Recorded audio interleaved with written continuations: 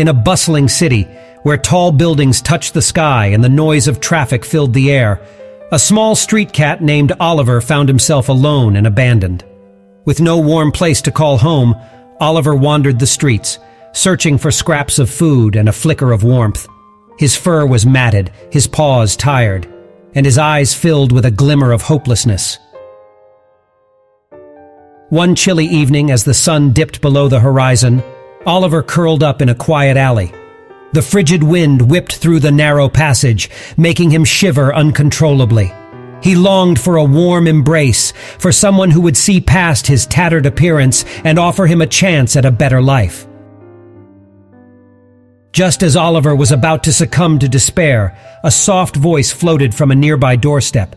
Here, kitty, kitty! Come here, sweet one! The woman called, her voice filled with kindness. Oliver's ears perked up, and he cautiously approached, his heart pounding in anticipation. The woman named Emily crouched down and extended her hand, her eyes brimming with compassion. Don't be afraid, little one. I won't hurt you, she whispered gently. Oliver hesitated for a moment, then cautiously inched forward, his wary eyes fixed on her. Emily's heart swelled with empathy as Oliver finally reached her outstretched hand. She gently stroked his scruffy fur, feeling the vibrations of his purrs rumbling beneath her touch.